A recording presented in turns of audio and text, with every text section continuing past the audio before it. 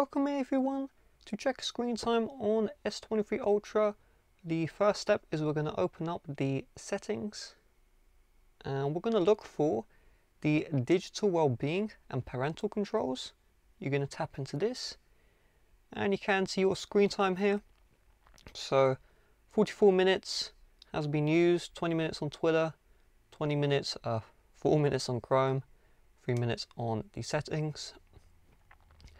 And you can also set app timers here if you would like to.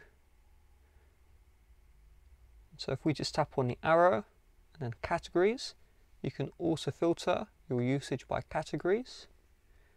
And if you tap on this chart, you have the weekly report here.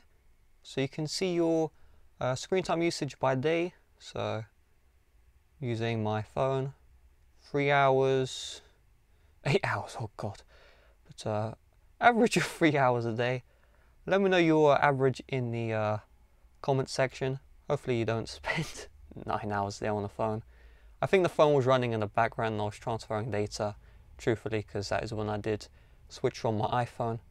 That's what I say anyway. So with that being said, if you would like to help support the channel, please do check the description. Bye bye.